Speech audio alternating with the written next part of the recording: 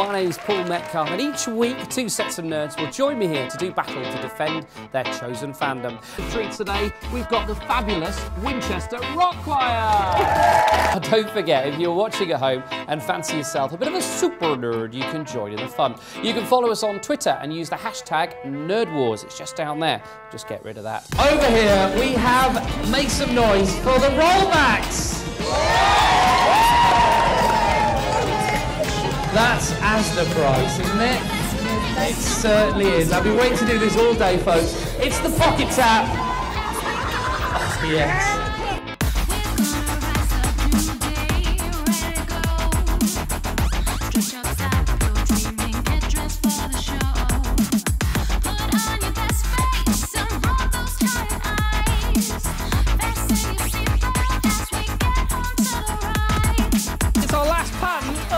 But it's all right because Freya and Georgina will be back with you later on. Clickety click 66. Jazz hands, we've got winners marked. and play online bingo where you can hang out, chat, and have a laugh. Both are red, one Well, a little bit later on. sweet Right, thanks for that. Sit down.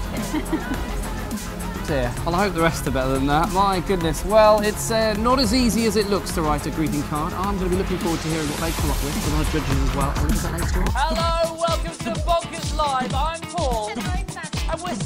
Mad about pancakes. He's from the Arctic, so they're both in the wrong places. We put them together to fool you. Get into that there, but I'm afraid that's almost all we got time for.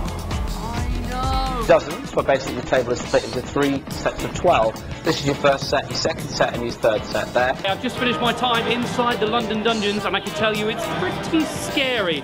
Got my photo though, but not as scary as my trip to a famous theme park earlier this week when I checked out the latest roller coaster. The Swarm tested me to my limits.